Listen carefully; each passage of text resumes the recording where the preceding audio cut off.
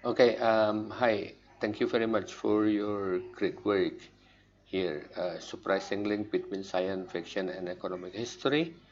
Um, thanks a lot of your your your work. Um, then um, the task is to create a mind map and write a summary, right? Uh, now, when I look at your slide 1 until 7, there is no mind map. Mind mapping is very important to see your logic when you write your paragraph before you write your essay. Jadi mind map harus ya. Uh, kalau enggak bingung nanti. Gitu. Now let's um, look at your work. Um, work of science fiction. And then you give the explanation here. The best science fiction stories has two things. Okay.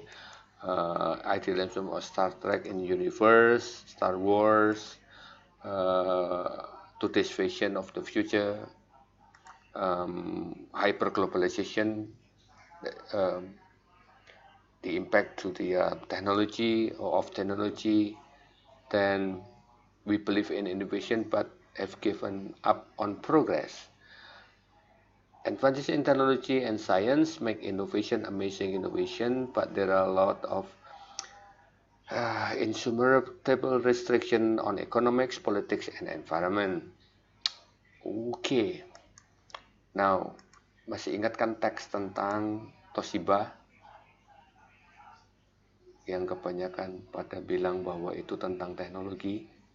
Ingat ya. Now that's the same thing in any text. You have to think, not just understand. Oh yeah, I, I got it. And then um, not deep enough gitu maksudnya. Ya. Coba sekarang dilihat the surprising link between science fiction and economic history. The key is the surprising link from your work, slide 107, I haven't seen the surprising link. Yeah, what's what's the surprising link? And then in in in your in your uh, summary here, you mention uh, there are also insurmountable restriction on economics, politics, and environment. Uh, what are these? Yeah. So my advice would be uh, look at the text again carefully. Or later on when you got a text, you have to look at that carefully and seriously. Think what behind that and make a link of what's the title say, what each of the um, uh, subheadings gitu. Oleh karena itu, saya suruh bikin mind map. Kalau hanya bikin annotate seperti yang tak contohkan di minggu lalu bahwa di samping teks bisa dicoret-coret dan segala macam, then you it's very hard for you to find the essence to look at the text as a whole. Itu nggak kena gitu, ya.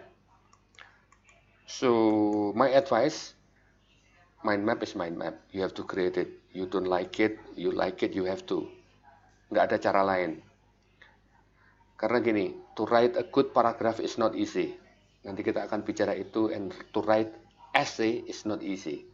Perlu waktu. Makanya waktu untuk membaca saya kasih waktu panjang dan tidak di dalam kelas. Di luar kelas didiskusikan dan segala macam. Ada maksudnya sih.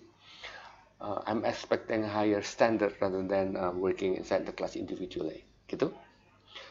Um, that's the input from me for the time being and I'm looking forward to receiving your other work. Thank you.